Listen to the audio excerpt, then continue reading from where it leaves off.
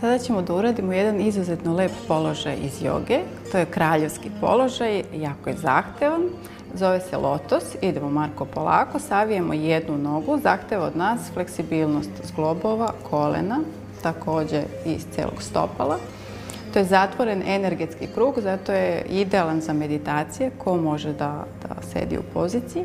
Idemo polako da jačamo ruke, podižemo telo, također izuzetno zahtevno, ali fenomenalan položaj. Tako, opusti se malo. Polako ćemo izaći iz pozicije da vidite samo ako ne možemo naravno lotos da uradimo, krenemo sa polulotosom. Polulotos, tako, jednu nogu podižemo, druga sa strane, koliko ide, bravo. I možemo tako nekoliko dana, a onda probamo i ovu drugu nogu lagano da podižemo gore, postepeno. Pomalo, par sekundi, spustimo dok ne dođemo do same pozicije punog lotosa. Tako je, kolena su dole, zadnjica je dole, ceo taj trougao je dole uspod, kičma je prava, ruke su opuštene. Bravo. Izađemo iz pozicije.